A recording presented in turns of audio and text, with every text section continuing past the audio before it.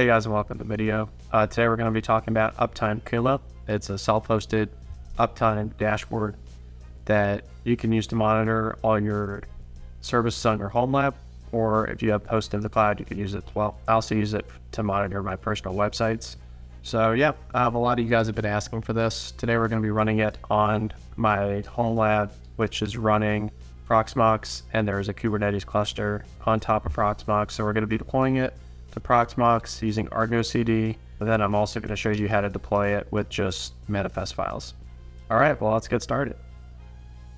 So let's first start here. I just want to explain a little bit about what I have running in my home lab. Like I said before, as a um, I'm running Proxmox as my virtual environment, you know, uh, and I have a few machines on there. As you can see, we have I'm running AdGuard as my DNS provider and also ad blocking. And then I have a few Rancher hosts, which are going to be one is the Rancher front end, and then I have a master and two worker nodes.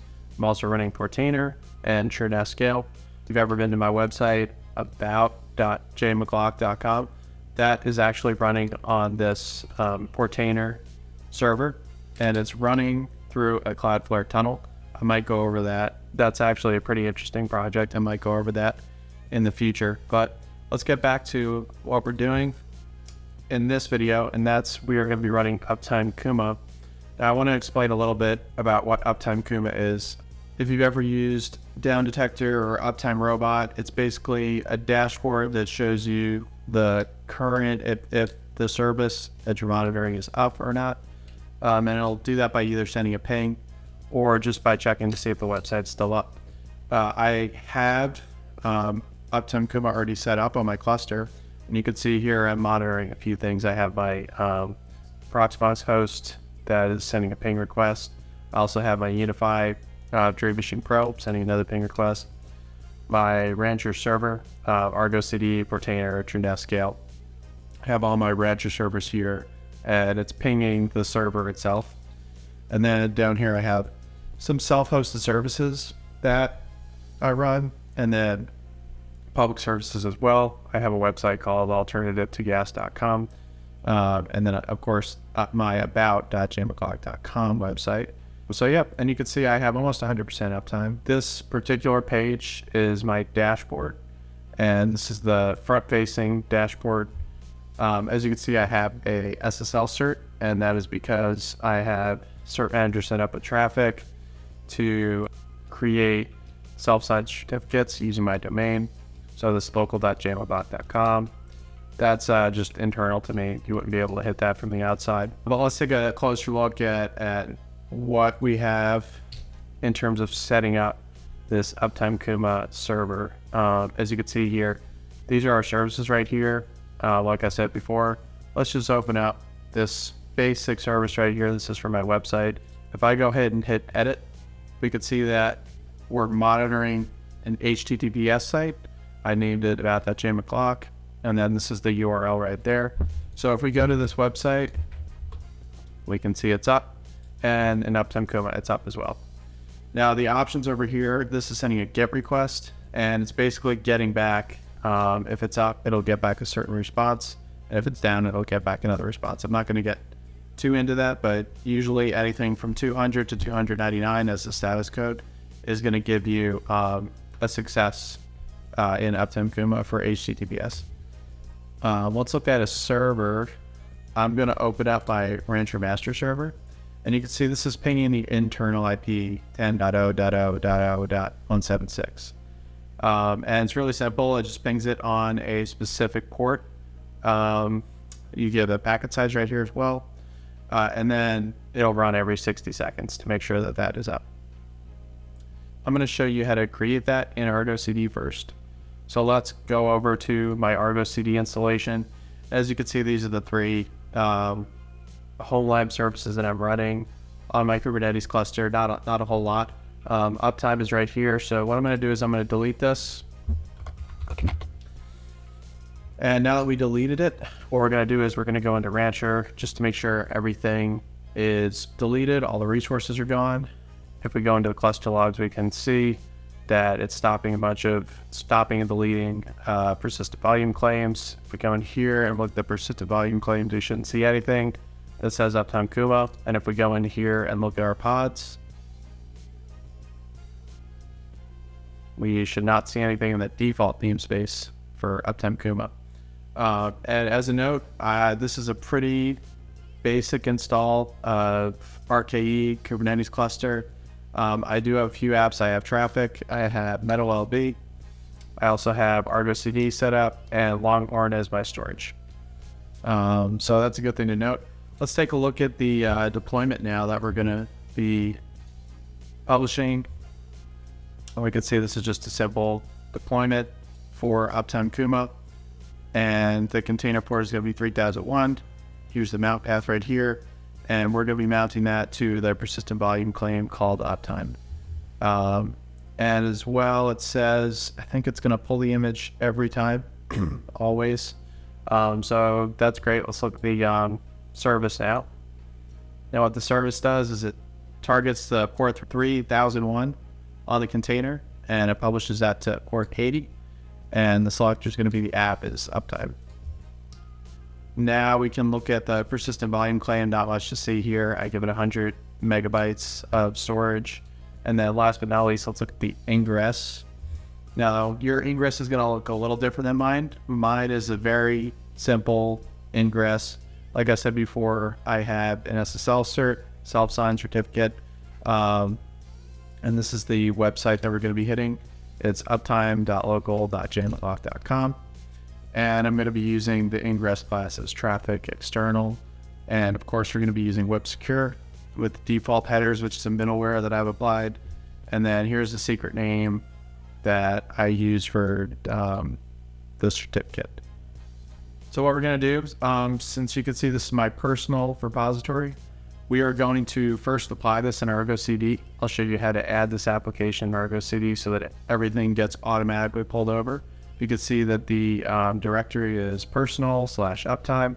So I'm going to come into Argo CD now and I'm going to create new app. I'm going to name it uptime with the default project name. Prune resources, self heal, prune last. Um, since we're going to be doing this in the default namespace, I'm not going to auto create the namespace. Repository URL is just going to be my um, GitHub repository, which is jmcglock-personal. And of course, we need to point it to the right path, and that right path was slash uptime. That was the right directory. Here's the Kubernetes URL, the cluster that we're going to be deploying to, and the namespace is defaults. Now, all we need to do is hit create and we can go in real time, see these uh, elements creating. Uh, we can see that we already have the persistent volume claim created. Probably just needs to be assigned to this pod. We also have the service set up and the ingress route. Um, so let's go back into Rancher and we'll see the resources that have been created. You can see here's the uptime pod right now. Um, and if I click into this, it looks like it was uh, it's it's up right now. Um, let's also go into our storage. We can see the persistent volume claim right here, named uptime. Like we said before, it's 100 megabytes. Um, and then if we go into the services, we can also see the uptime service right here. Now, if we hit the URL uh, that we applied in the service, then, and this is the, the URL right here, it's uptime.local.jamlock.com. You can see uptime is up. Now what I'm going to do is I'm to create an admin account and we can see that everything is wiped clean because it's a fresh install. Um, so anytime you delete, obviously from the cluster or uh, remove it, uh, the if you remove the persistent volume claim, it's going to wipe all your data. But luckily, I have a backup that I can restore from, and I will restore that um, after we destroy Uptime Kuma one more time. So I'm going to go ahead and delete this app one more time and I'm going to show you how to apply it just from the manifests. So if we go back into the directory with the uptime uh, manifest right here, we're going to see these four like I, like I talked about before. So I'm going to open them all up. and you can um, create the files locally and apply them over the CLI. You can see that um, we don't have Uptime Kuma running anymore. Um, but if you want to, you could just do kubectl, um, uh, apply, and then the file name and the, the uh, namespace. but we're not going to do that. We're just going to go back into Rancher. This file love Rancher. It's really simple to apply YAML files from here. I'm going to copy this entire thing right here, and I'm going to import the YAML. And let's just do this all in uh, one one fell swoop. So I'm going to go ahead and grab the second, the service. I'm going to put that in there.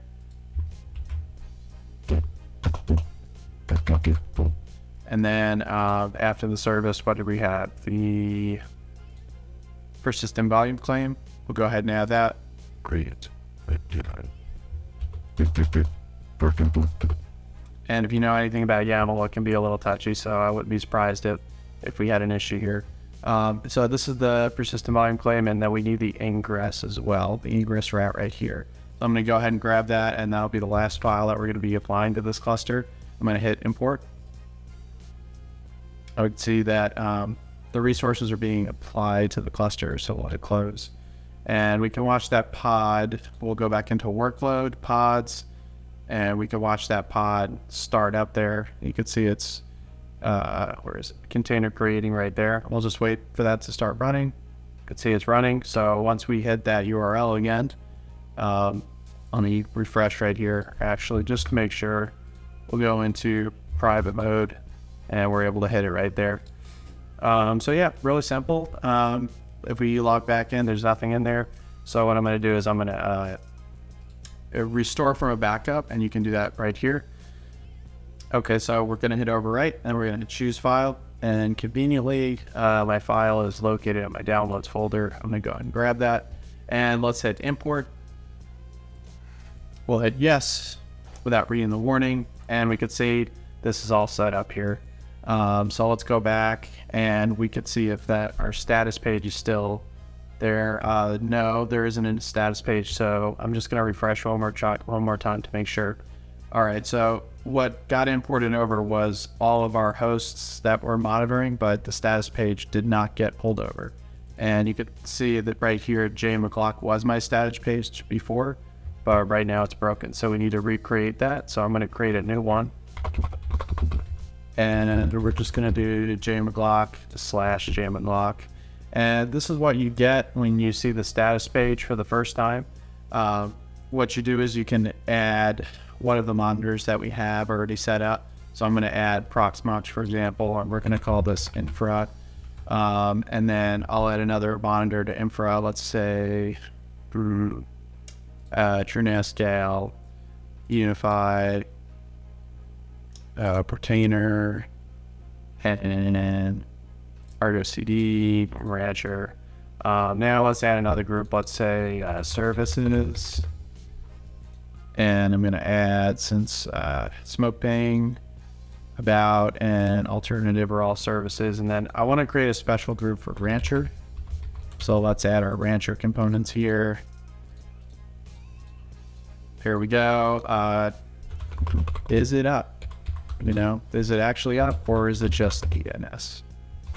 Because it's always DNS. Um, so let's uh, let's create that page right there, and then there are other changes you can make here, like the title, the, the description. You could do a footer. Um, you can show powered by if you want. I don't want that, um, and then we'll just hit save. And now, if we hit the is it up page, we're, we're greeted with um, our you know status page that we just created. So yeah, I really like Uptime Kuma. It's a simple tool, and I, I really think that um, it can help you guys out, especially if you're paying for something like Uptime Robot or uh, you know another product that's paid. This is self-hosted, super easy to use. You don't have any branding on there. You can add your own logo here and just use this. So Great, uh, great little tool. I, I commend the, the developer. I think his name is Louis Lam. Thanks for creating the image. Uh, thanks for maintaining it. And as, as always, I'll see you guys in the next video. Peace.